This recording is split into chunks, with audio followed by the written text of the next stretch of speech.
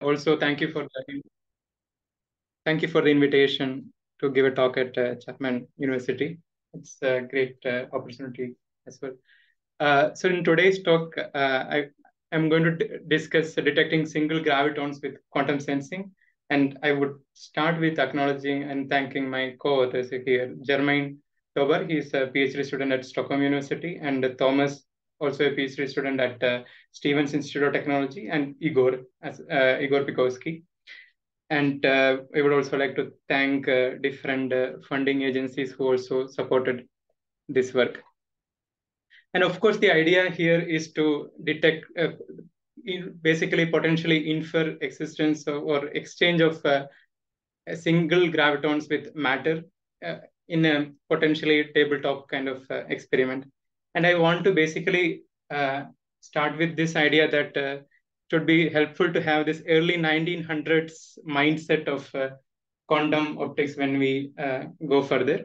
So if you try to recall what happened in the early 1900s, you know, electro electromagnetism or Maxwell's equations were was a quite successful theory of the 19th uh, century. So and then the main issue that concerned people at the time was how do you reconcile certain uh, observation, primarily in the thermodynamic uh, uh, sense, and see if they are consistent with consistent with Maxwell's equations. And one of them, or the most one of the most important one, is the of the deviation from uh, predicted black body radiation spectrum as opposed as opposed to what one see sees in the experiment.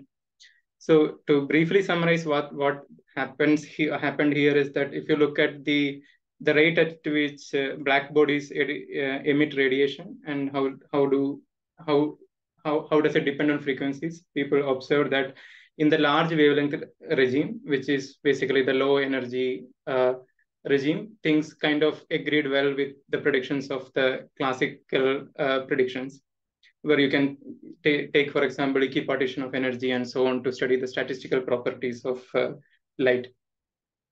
However, what when people try to look at the uh, small wavelength regime, or this is the high frequency regime, there were significant departures from what a classical theory predicted. A classical theory predicted that uh, the radiation would, uh, the rate of radiation would in fact go to infinity towards this uh, ultraviolet regime. So this is what's called ultraviolet catastrophe. And people were trying to address uh, how to reconcile that. And there were also attempts, theoretical models, which, for example, worked well in the uh, high frequency regime, but did not work so well in the low frequency regime. So Max Planck had this uh, quite uh, exciting idea that uh, you could think about uh, a black body as a cavity whose walls are charged particles oscillating, and then they emit radiation, uh, but only proportional to the frequency of each of these uh, oscillators, charger oscillators. And he suggested that thinking this way, basically that uh, this radiation emitted are in h bar sorry, uh, in unit proportional to the frequency, and this proportionality constant is actually the Planck's constant. He could actually find a very good theory that fit the experimental observations, and that explained the Planck's uh, uh, so that that became the uh, black body radiation spectrum that Planck uh, was able to correct and uh, match the experiments.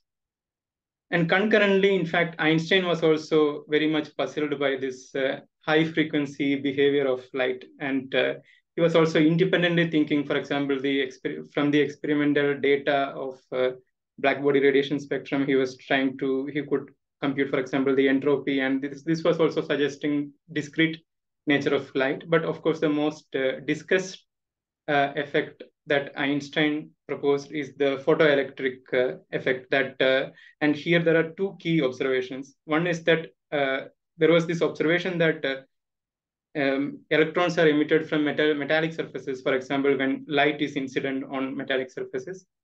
But then there were one of the propose one of the suggestion was that Einstein Einstein proposed that the intensity of the light is not the key factor in this process. It is the frequency of light. So there is a certain threshold frequency below which you don't see any emission at all. And then even if you increase intensity of light, this does not uh, cause any emission of electrons. You have to meet the threshold frequency. And the other key effect is that the maximum kinetic energy of uh, the ele ejected electron, which you would measure by some voltage measurements that you would try to stop the electron from reaching one of the cathodes. So that that would be uh, that would also be proportional to frequency, not intensity. So it's not the fact that uh, uh, increasing, adding up classical energy little by little, you can uh, excite electrons. Rather, you have to have this uh, meet this these two strong requirements. And the second fact, for example, these two combined basically tells you that it is a single photon that does the job. So it's a single photon or the frequency response that matters best. And uh, there were two, I mean, uh, there were also experimental confirmations of this. There was an earlier experiment by Philip Lenard and also Millikan who wanted to, he was actually trying to disprove Einstein that this need cannot be the case. If I do a careful experiment, I should be able to, or Millikan was thinking that he should be able to show that uh, Einstein was wrong, but he ended up uh, actually show, agreeing to Einstein in this regard. And then if we fast forward to today's quantum optics, it is uh, it things look a little bit more of for obvious reasons developed and there are new ideas if someone asks uh, what is quantum optics today or what is a photon. And uh, one, one of the interesting input is that a semi-classical limit of QED would also work to catch, capture the essential features of the photoelectric effect. And uh, this semi-classical limit, however, uh, it also has uh, certain issues. It is it is a convenient approximation in the sense that it violates energy conservation, for example. So a full description also requires to account for this uh, quantized energy exchanges with the matter. The uh, I would say one one of the other crucial elements that we know about photoelectric effect and inferring uh, quantized exchange of energy with light in this context is the time delay argument. This basically tells that, for example, I can compute the energy that is added built upon the metal uh, by a continuous classical flux of uh, uh, energy by a, a, continuous wave. And in order to say that indeed the energy exchanges are quantized, one should be able to see quantum jumps on the matter side, which are uh, which happen at a time scale shorter than the time scale it would take for a classical uh, wave to build up the same amount of energy. So this is the time delay argument, and it has been shown that one can in fact measure within this time scale, and it also follows from the analysis as well that quantum mechanically there is certain probability to measure in an excited state when you have an interaction. Of course, there is more in quantum optics and in general quantum information now, Bell inequality violations. This is the only loophole-free test of non-classicality.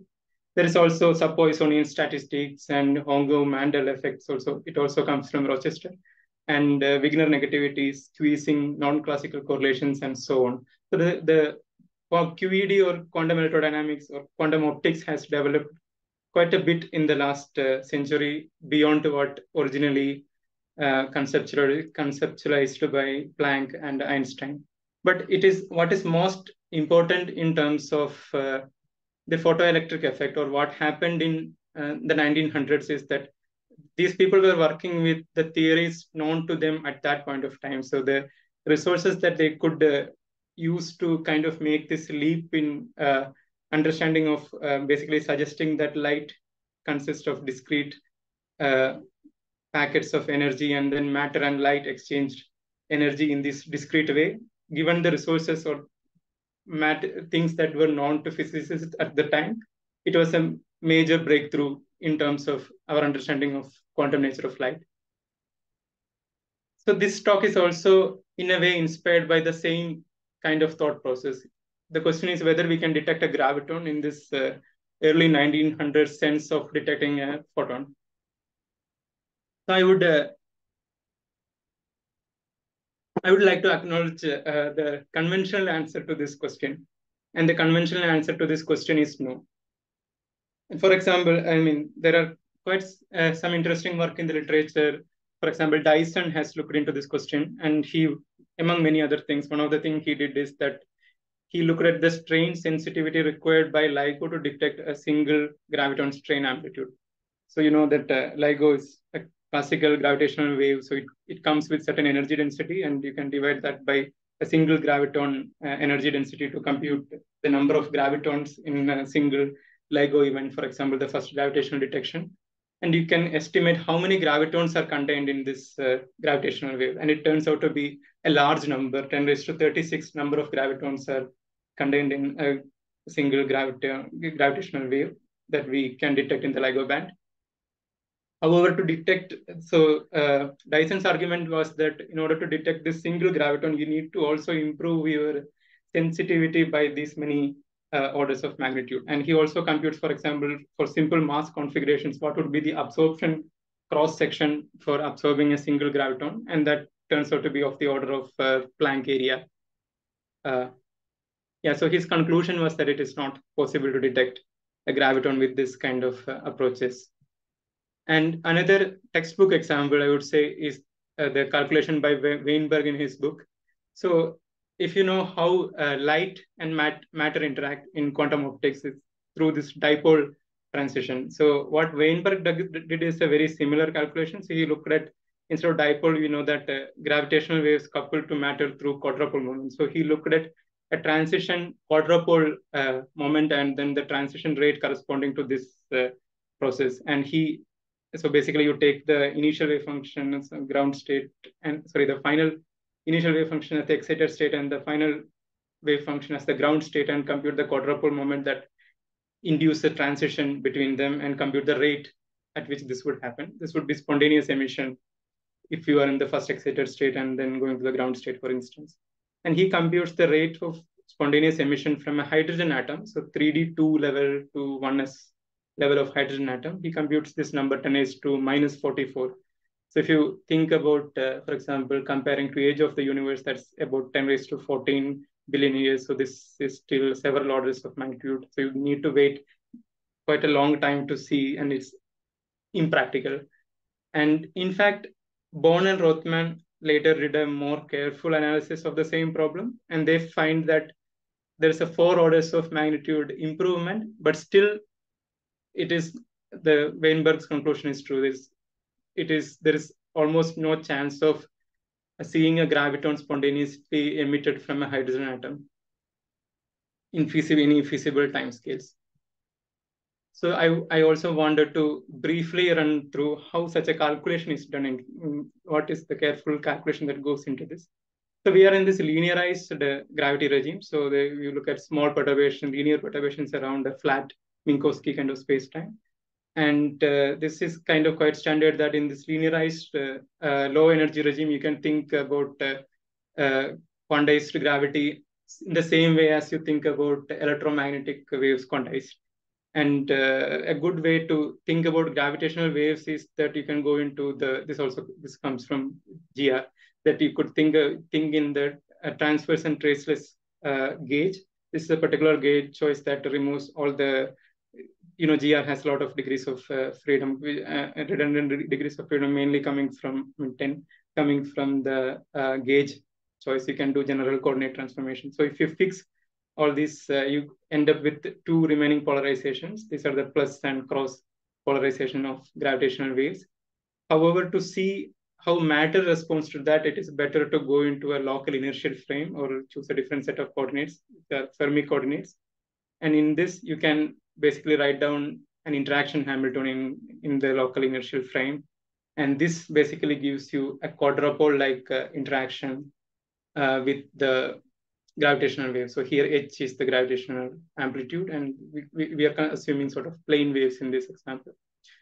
And uh, Boughn and Rothman, actually, their paper has a very good and careful uh, analysis of uh, different gauge fixing that's done and so on in this context. So to quantize, one would uh, uh, basically what you do in electromagnetism, you take the Fourier amplitudes and then promote them to operators. And one can compute in the same way uh, what is the graviton transition rate, and that's how. And this look, this is the Fermi golden rule for this interaction. Given this density of states for gravitons, you get this very small number, 10 raised to minus 40 uh, per second. So now uh, our we also ask the same question, can we detect a graviton? And our answer to this question is yes, we can detect a graviton. And before going into details of how we do this, I want to basically briefly respond to the arguments of Dyson and uh, Weinberg in this regard. So one of the things that we learned from photoelectric effect is that we don't need a single photon to detect or infer the ex existence of a single photon. You, you can basically have a torch at uh, which contain many photons, but provided that the frequencies are matching, you can still have a single uh, excitation events on the matter side, and that would corresponds to interactions at the level of a single photon, and then therefore you can infer single photon on the field side with energy conservation. So we don't need sensitivity at the level of, in principle, we don't need that kind of sensitivity that was predicted by Dyson. However, one more important point here is that maybe to infer energy exchanges, LIGO is not the best uh, choice of detector to uh, we should be looking at, uh, we should be measuring energy on the matter side or energy exchanges on the matter side, energy transitions. And to go back to Weinberg's comment, which is mainly that at a level of an atom, the spontaneous emission rate and also uh, stimulated rates are very small. So it is infeasible to detect in experiments. What we do to address, how do we address this comment is that we focus on massive quantum systems and stimulated processes instead of uh, spontaneous uh, processes. And combined with this uh, quantum sensing that I briefly mentioned, which can in principle allow us to infer single graviton exchange events. And for this, we use Weber bars with a quantum twist. And I actually want to take a small detour to uh, Weber bars. You know, uh, I already mentioned that uh, there is this gauge, uh, this coordinate transformation degree of freedom, uh, coordinate transformation freedom in GR. So GR, the action is invariant under generic general coordinate transformations. And therefore, there was a lot of discussions about uh, whether you can get rid of gravitational waves to Maybe you can choose a correct gauge that, you know, you can fix gravitational waves and there's there are no gravitational waves. Maybe this is an artifact and this was the this was an ongoing discussion for a long time, eh, in, including in the 50s. And uh, Joseph Weber was this person who came up with the idea that you can take a big rod and measure gravitational waves and see if there is actually a wave. And the idea was obviously to measure the position of the bar to great accuracy. And naturally, this required very uh, high precision measurements and very good sensitivity. In fact, a lot of early works in time continuous quantum sensing was motivated by the physics and requirements of, in general, gravitational wave detection, including uh, the physics of uh, Weber bars. And and in, and uh, naturally, they were trying. Weber was in, very much motivated to detect classical gravitational waves. In fact, he also made a claim, uh, few claims of detection. One, the I would say the most famous one is the supernova event in 1987. And however, this one was uh, it was discredited because there was not enough evidences, and of course, uh, LIGO was not available at the time to do uh, correlate with LIGO.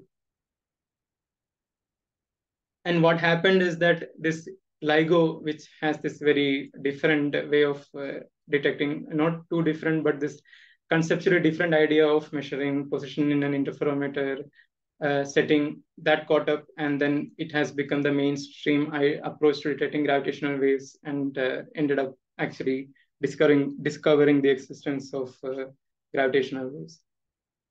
Uh, so Weber Weber bars were simply one they were too weak to detect uh, gravitational waves in principle and the second aspect is that there were too many noise uh, issues, especially with these position measurements that uh, you cannot make conclusive uh, evidence of detection, claims of detection of a gravitational wave using Weber bars.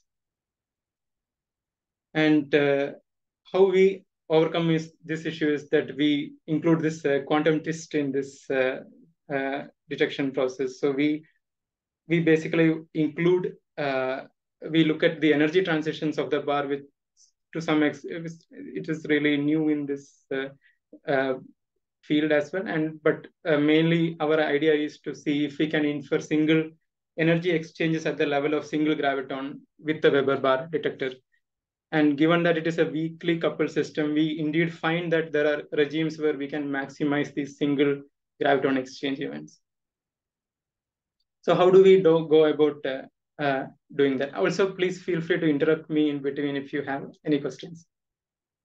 So uh, what we do here is that we take this uh, bar and we want to understand how this uh, bulk object coupled to gravitational waves. So we one can basically make this into smaller unit cells and uh, each of consisting of an array of atoms in one dimension. Each of these atomic planes are oscillating with a Debye frequency. And then each of the atoms has a small displacement around the mean position. And we can go to a continuum more uh, basically description where this you can do a coordinate transformation to the collective modes of uh, oscillations of the bar in the in elastic or mechanics. This would be the acoustic modes of the bar. And when you compare the and they, these acoustic modes are basically independent quantum harmonic oscillators.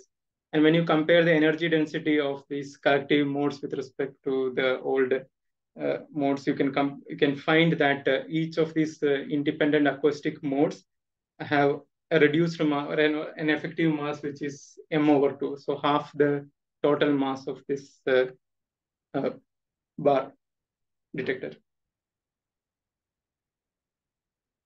And we again, uh, we can compute the interaction Hamiltonian now again. Again, there are different approaches to look into this. One is you can take the Hamiltonian in the local inertial frame and then compute, basically add up the effect of tidal forces on each of these atoms.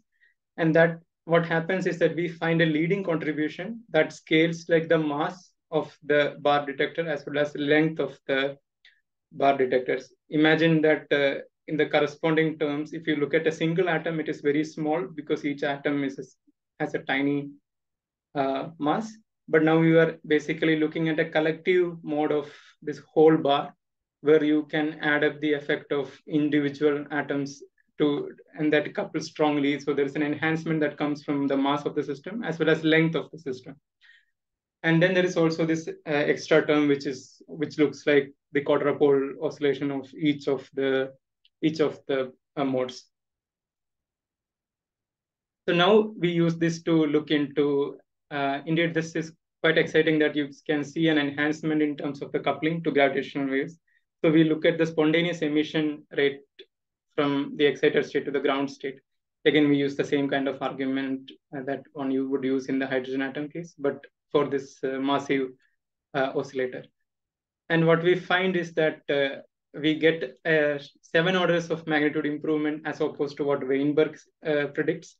However, this is uh, still much smaller. So it's like 10 raised to minus 33 per second is the rate of the rate at which this bar would spontaneously emit uh, a graviton and that you would detect. And we do this, for example, these numbers come from considering an example of a niobium cylinder with a given mass density and sound of speed and so on. So now we look at stimu stimulated absorption or emission events. And these events are essentially, uh, we consider in the LIGO band. So we consider a gravitational wave, which comes with the frequency. Uh, so there is a frequency, uh, time-dependent frequency in the gravitational wave that you that the bar experiences. So if you, if I want to briefly pause to mention about the gravitational wave signals that you see in LIGO. You, you know that there are these uh, binary black hole mergers and the gravitational wave that are produced from these mergers have sort of an increasing frequency with respect to time. So these are these chirping signals. So if you if you have slow merging events, there will be th these gravitational waves would spend some time around each of these frequencies in this continuously increasing frequency. So they look like uh, still you can interpret it as continuous waves, uh, single frequency waves in a small, uh, tiny uh, window of time. And when you look at this stimulated ab absorption, which also equals stimulated emission rate, we find that there is for one uh, strain amplitude in the LIGO band, we find that for a given aluminum bar, which which of course Weber was working with aluminum bars, we find that there is one hertz uh, prob uh, chance of observing a graviton absorption or emission event in, a stimulated process. So this tells that there can be events like every second, if there's a continuous, uh, there is a continuous incident process happening, then there is a chance of detecting one graviton per second through this uh, approach. Of course, these rates are in a way idealized scenarios. It gives us good good estimates for what's happening. But this problem is in fact, uh, with some approximations, we can almost solve exactly. So you have a time dependent uh, gravitational wave coming and there is this interaction Hamiltonian we have. So we can use Magnus expansion or Lie algebra or some other methods to go to the interaction picture, for example, and basically predict what happens to the bar if it is initialized in, in the ground state. And what we find is that uh, to a good approximation, the, the, the bar gets excited to a coherent state. And with a given coherent state amplitude that basically depends on the source properties, for example, the chirp mass and uh, the profile of the wave and so on. And this, I, we include everything in this chi so that basically summarizes the effect of the sources and the profile of the gravitational wave, how, is, how does it depend on time and so on. And we can, for instance, from this, we can compute what is the probability that if I do a measurement, a number resolving measurement on the matter side, what is the probability that I get a single absorption event? And the probability actually turns out to be 36%, which is quite consistent with the rates that we derive. And we can basically use this as a precursor to, for example, optimize our detector so that single graviton absorption events are the most likely events with, with the detector. And just to expand, expand slightly on the uh, chi, the, the amplitude of the coherent state up to some prefactors. This you can basically numerically estimate, but also you can you can have uh, from LIGO data, or you can use uh, some approximation methods too, because currently we have a very good understanding of the, for, for example, this binary merger uh, events and so on. We have a good understanding of the frequency of the gravitational wave. How does it vary with the time? There's good model that works till merger, at least for example, and one could use that and some stationary phase methods to approximate what should be the chi value or the response to the gravitational wave essentially. And we find, we have an estimate for this and this works, uh, which basically goes like the strain amplitude and also the chirp mass uh, in the denominator. So, and it, this, this works quite well for this uh, slow transition through resonance. So the gravitational wave is increasing in frequency with respect to time if it is doing slowly across the resonance of the bar detector, then we can that those this approximation works rather quite well in such cases. And the examples of this include, for example, uh, neutron star neutron star merger events. And again, like I was saying, we can use this these ideas to predict what should be the optimum mass of a detector, such that we have maximum absorption from the ground state to the first excited state of the bar uh, resonator. And here we have a table. Uh, essentially, we look at the different uh, events and known or predicted strain amplitudes, or there are some strain amplitudes that are bounded based on literature, and we look at what material or how much weight uh, of the bar detector is required to reach this optimum uh, response from the bar detector. And it's it seems that they are of the order of 100 kilograms or a few tons but they are not completely out of the picture. So they, they are still realizable in in real I mean, near term experiments and there are already bar detectors which which are in so, sort of uh, in this range.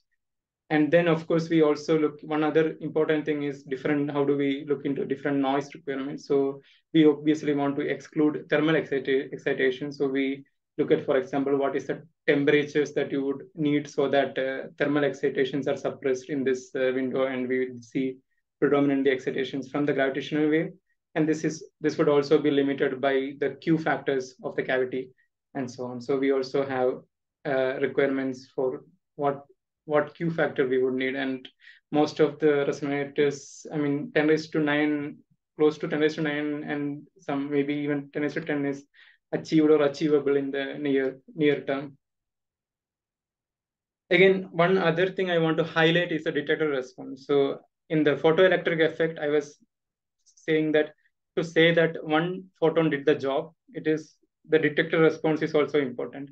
So it's not the free the in the intensity of the wave that matters, but the frequency that at which the onset of absorption happens.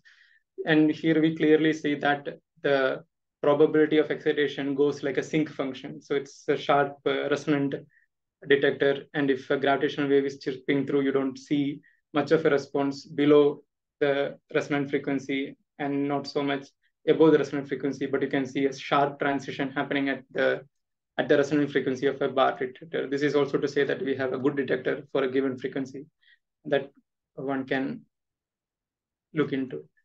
And uh, we also need to measure continuously. And there are two reasons. One is that if we are trying to model physical measurements of a quantum system, we know that uh, we have to do this. Uh, any finite, any measurement process is a finite time uh, process. So we have to include these finite time effects, but also uh, we don't even know when a gravitational wave, it's not a deterministic ministic process that you have a gravitational wave coming at this particular time.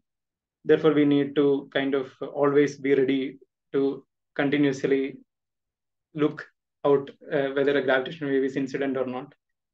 And we use the standard uh, measurement model to describe uh, this process in the interaction picture. So we have measurement operators and uh, these displacements uh, by the gravitational wave intervene. And the readout signal is basically the average uh, uh, of the observable we are measuring, in this case, the number operator of the of the chosen acoustic mode, and then some Gaussian white noise uh, added to this. So here are some simulated experiments. I want to go through one by one. So what the first sig, first panel is the readout signal, which is stochastic uh, uh, readout and then we wait for, for example, in these plots up to 40 seconds. In the left side of the screen, what you see is that uh, you don't have, we don't, we do not include any noise. So we have, uh, you wait until 40 seconds and then reset and then again wait 40 seconds. And this 40 seconds is chosen so that it is smaller than the coherence time of the detector. And uh, in this pink window is where we include a gravitational wave interaction with the with the bar detector and then you continuously measure and you see one the system collapsing to one one of the eigenstates. In this case, we show an event where it collapsed to the first excited state, and this happens with about 36 uh, percentage chance. In the in the second experiment, second window, we also include like I was saying, one other main possible noise is that the gravitational wave basically displaces the coherent the the Weber bar to a coherent state or the fundamental mode of the Weber bar that we are looking at into a coherent state. So there could be other displacement noises that come into play. So we include a random displacement and uh, see that, for example, in the first half, there could be a random, there was no gravitational wave window, but still you can see some excit excitation due to this noise. And this is where it becomes more and more important that we also correlate with LIGO because LIGO can tell us when a true gravitational wave, if, if there was a true gravitational wave passing through when we detected an absorption in the Weber bar detector. And this correlation with LIGO is also in a way essential to, under, to basically increase the fidelity of detection with Weber bar detectors and using energy measurements in this context. Of course, using more than one uh, Weber bars can increase the fidelity further by maybe removing some common noise factors and so on. But uh, correlating with LIGO is important. In fact, correlating with LIGO is Im important for also inferring these single graviton exchanges because like I was trying to explain, absorption mostly happens at resonance and the rotating wave approximate terms are the leading contribution to the excitation probability across resonance. So basically a classical LIGO can tell us the waveform. So if we can infer whether the, if there was a gravitational wave chirping through the resonant frequency at the given amount of time when I measured a single excitation on the matter side. And this would tell whether a single graviton did the job or not. And we can, in fact, also use this to tell, in, in the same sense of photoelectric effect, uh, compute h bar, for example, because we know the frequency of the wave, frequency of the matter. And uh, yeah, so uh, I would say that Germain called this the gravitophononic effect. So we see single excitations in the Weber bar, and we use this to infer energy exchanges at the level of a single quantum, which is the graviton in this case.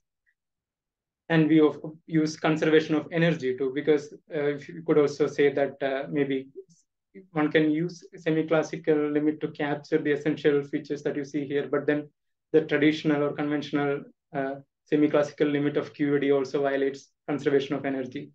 And this is something one also uses in these uh, qubit feedback kind of engines and so on. So when you have feedback protocols with the light or laser, then usually the argument goes that uh, the photon came, the energy went with the field that you used to do the feedback control. But uh, usually it is uh, in the semi-classical picture, this amplitude varies. Traditional semi-classical picture does not account for this uh, amplitude variations in the classic, the classically approximated description of the field. So it is good to uh, emphasize this point too.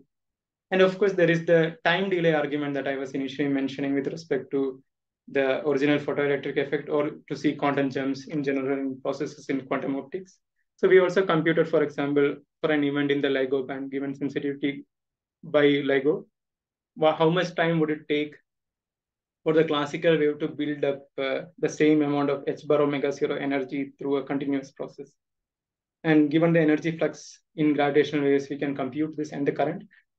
Given the current and the energy flux, we can compute this. And uh, we, it turns out to be 10 raised to minus 26 seconds.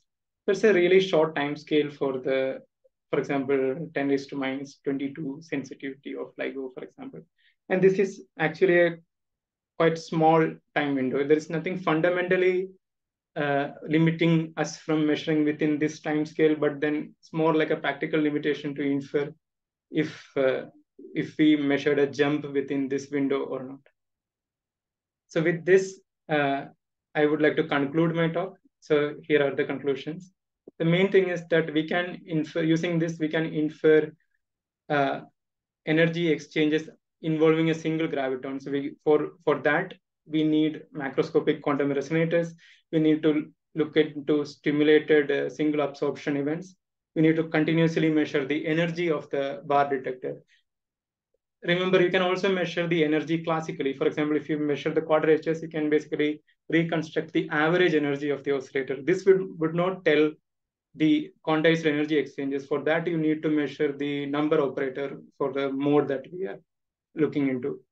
And in fact, the weak interaction also helps. So for Weber, this was an issue because Weber bars uh, weakly interacted with the waves and uh, it was not good enough to detect gravita classical gravitational waves. But what we are kind of saying is that a weak detector for classical gravitational waves can be a good detector for inferring single graviton or energy exchanges at the level of a single graviton. And then, of course, we need to correlate with LIGO, which is a very good uh, classical detector to know uh, the frequency response actually in, carefully. And uh, but most importantly, these the the proposal here it can be achieved within quote unquote uh, realistic parameters. Is you need a quantum measurement and quantum control at the macroscopic level. We need to ground state cool these massive Weber bars but I was saying the requirements are like in kilograms or maybe tons. And we need to correlate, obviously we need to correlate with LIGO, but maybe there are better sources that would also reduce the mass requirements, for example, or the length requirements, for example. And I would like to conclude by saying that uh, one cannot, it's maybe uh, it, this is not a proof of quantum theory of gravity. It's more like uh, what we are doing is that we are inferring energy exchange of quanta analogous to the photoelectric effect. So in the sense of the early 1900s of uh, uh, the quantum theory of light, this is a good inference or this tells us a, this is a major clue. If, for example, one could do this in a, one could very hopefully soon do an experiment to detect if you see J quantum jumps on the matter side when the Weber bar is interacting with the classical gravitational wave. This would be quite analogous to analogous clue for the existence of uh, uh, gravitons as uh, energy units in the in the in the gravitational wave. And I would once again thank uh, all my co-authors uh, here also for attending the talk. And uh, with that, I'm happy to take any questions you have. Thank you.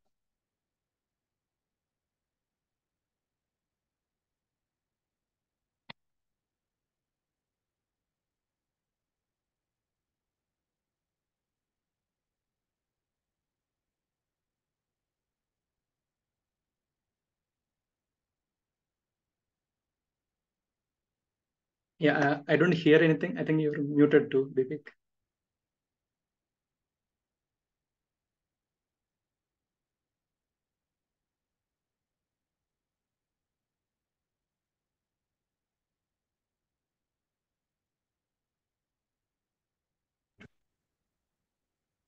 Okay, now I think Maybe you should repeat your statement. Oh yeah, thank you, Sreenath, for it was a really nice talk, some interesting results, and uh, uh, now just to have some questions for you.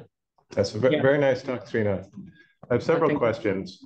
Yeah, One is regarding your time scales, because if I think of Yeah. a 300 kilogram chunk of aluminum or something like this, Mhm. and Yeah. you're talking about the collective modes, acoustic modes of this thing. I'd expect a transient time of something like twice the length of this chunk times the speed of sound in order to set up one of the Yeah. steady state modes. Yeah. That seems like it would be a much longer time scale of transients than this 10 to the what minus 26 seconds that you were talking about. Is that a problem? Uh, so in fact, this so the it is not a problem because we are computing for something like that actually. This number comes from uh, a mass, so something like um, in the meters uh, range, and then the mass and speed of sound corresponds to something kind of physical. So the reason is that the energy density or the number of energy density in a classical gravitational wave basically adds it, it's quite sufficiently huge so that you, a classical wave can add up this much energy in the short enough time scale that we quoted. Yeah. Is that was that your question? Is, so you Sort would of. come across, yeah, it, it would take more more time than 10 raised to minus 26 seconds to build up h bar omega in the Right. bar. Exactly. And it also has to do with the fact that you're adding up h bar omega too, I think. So it's also a factor of h bar. Okay. A similar question is, I didn't quite understand what this continuous measurement is coupled to. Like what, what sort of device? Is it local on different points of this bar? It seems like it would give you a very local kind of position measurement somewhere. And connecting that to a collective vibration mode seems tricky. Um, what did you have in mind for that? Yeah, so what you are pointing out is in, indeed one of the major challenges for this uh, system. So we need to, for example, couple the number operator of the bar to a convenient readout technique like homodyne or something. Then that you read out so you can infer the number of excitations or in, uh, transitions in the number basis. And for massive, if you go mass, more massive and massive systems, there are some works on how to, for example, read out uh, acoustic uh, modes in the Fock basis uh, uh, with the superconducting qubits and so on. But we are also increasing the length and mass, so it would need some uh, yeah some some more thought into uh, how precisely one would implement that. Of course, one can imagine maybe something with light and uh, uh, you know uh, transmission through the bar or uh, some way of inferring this coupling, uh, creating this coupling. But even in uh, even in quantum optics, it's sometimes tricky to generate precisely the coupling that you want to measure. So yeah. Uh-huh. So, okay. And then the, the third question I have is you mentioned something like millikelvin temperatures in order to keep this bar at near absolute zero. That requires Yeah. a very large fridge uh, in order to do this. Uh, Yeah. Or yeah, the other possibility is that you do this uh, some sort of locally multiple refrigerators. Like uh, for example, with Andrew, we had this paper of using superconducting fridges. But again, you need, like you said, yeah, it even then you would need to have a bulk cooling mechanism that one can reach. So, like I mean, paramagnet, like this adiabatic magnetization kind of ideas, but you have to do this in the large scale. That is that is uh, a challenge. Right, because I think the the latest dilution refrigerators get down to the tens of millikelvin. And I think Exactly, yeah. IBM has a giant recent fridge that gets down to the tens of millikelvin, but you're talking about one millikelvin, right? Yeah, so you can so this in these papers with Andrew, I think we have looked at, for example, mount superconduct bulk superconducting samples on these dilution refrigerators so that you can go from 10 to 1 millikelvin with adiabatic magnetization or something. Uh-huh. So it is still difficult, like you still need a bulk, a big uh, dilution refrigerator where you mount this. So, I mean, the cooling is a challenge. Yes.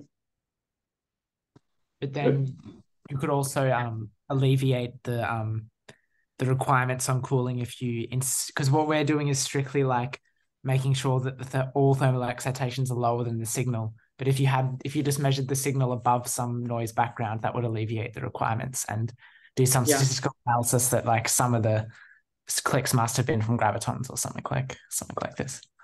Yeah, thanks. Thank you, Germain. Yeah, that's a very good point. So we could also, for example, play around a little bit on the on the detector side and then cho also choose frequencies such that we can maybe gain there too. So slightly higher, but then we'll be looking at a higher frequency window than, for example, the LIGO band. But there is also scope to improve in this uh, this way. But you, you, you also saw in the table that there, there could be some rare events where you don't need a huge mass. There was like also something with 10 grams, which sounds like a small mass compared to, right, the yeah, last but, one. But exactly. is it like related, like is the rarity related to this, uh, uh, the mass? I don't think so, right?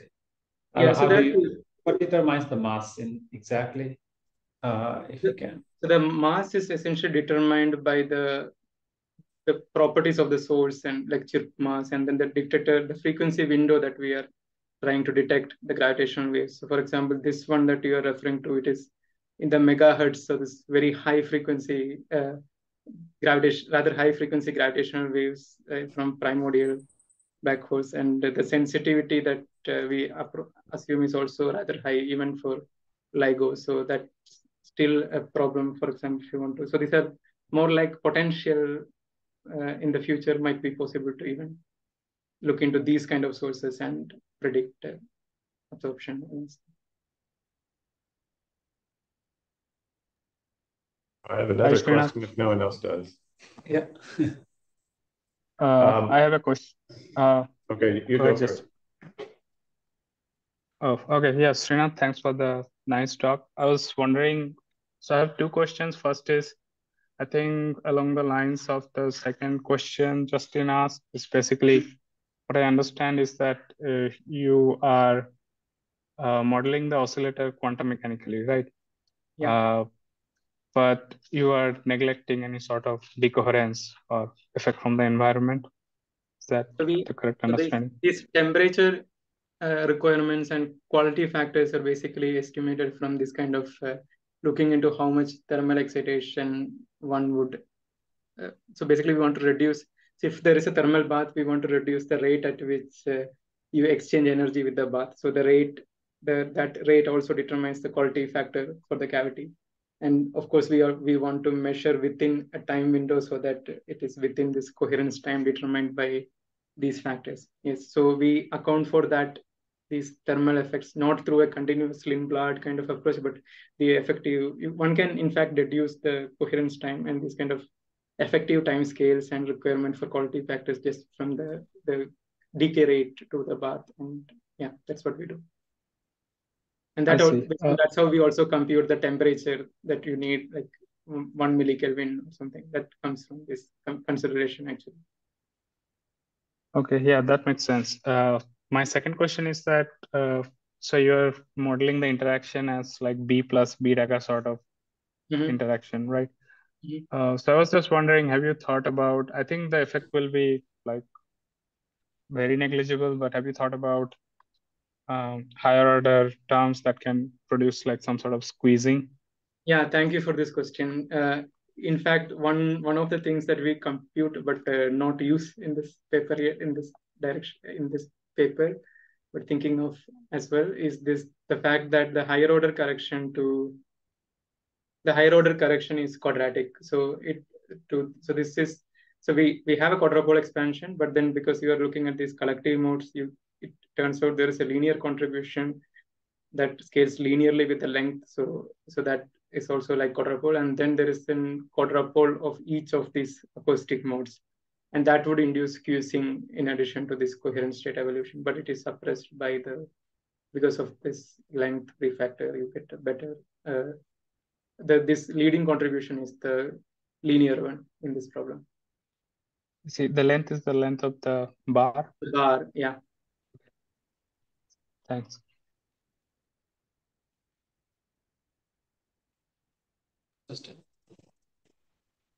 Oh, my, my other question was about this chirp, because you're relying on the uh, stimulated emission from some event that has a high yeah. amplitude, right? But those events are chirping typically because they're like in spiraling events. Um, exactly. Um, that's going to decrease the um, the cross sectional time scale, right? Because it, it's only exactly. in the resonant frequency for a very short time. Uh, yeah. Are you taking that into account in your estimations here? Yeah, that's what we are. So that's precisely what we are uh, doing actually. In so this uh, this and we we see this uh, deviation from. I mean, it's it's actually a good uh, estimate for all the sources that you see. So what Justin was mentioning is that when a, the gravitational wave chirping through this window means that the frequency is changing with respect to time. And you can basically think of it as for a very small window of time, there is a given frequency, but then it would change. And uh, for rapid merger events, so the, the frequency, how, how they change with respect to time depends on the source. And, and there are certain sources where this variation in the chirping frequency with respect to time is slow. So these are slow varying chirps, I think we call like that. In these cases, we can make this uh, approximation that there is this resonance window and then excitation happens at resonance is a good good characterization. And we we basically solve this exactly this problem, but then we see that these approximations that we make that uh, we can still think of that main contribution only coming from this rotating wave approximation and on resonance kind of regime is actually true for most of the almost all of the sources that we have looked at, or the gravitational wave uh, amplitudes that uh, LIGO provides. So, so, so one can basically, for example, the, the, what Justin is referring to, so you can compute this response in the stationary phase approximation. So then there is this leading contribution that comes from on resonance kind of interaction, and then there are sub-leading contributions which goes like the higher order corrections in a stationary phase uh, approximation kind of thing. And uh, what we find is that in fact the leading contribution is is a leading is basically captures the effective uh, absorption probabilities and the maximum of transition rate and so on. Even if you include the other, they are sort of sub-leading contributions for the for the variations that for the time scales of the gravitational waves in the LIGO band. So, so this estimate for chi that uh, I think it's here. This basically assumes sort of uh, this kind of analysis. We look at different time scales, and uh, so uh, that's how we get into this uh, chi factor, which which which is essentially this response to a chirping gravitational wave. But you can basically get a single number out of it, which works really well for slow transition through resonance, but also rather well for other LIGO events that we were looking at.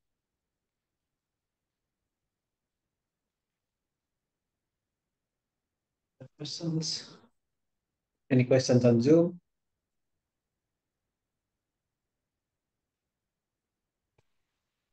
If no further questions, let's thank Sreenath again.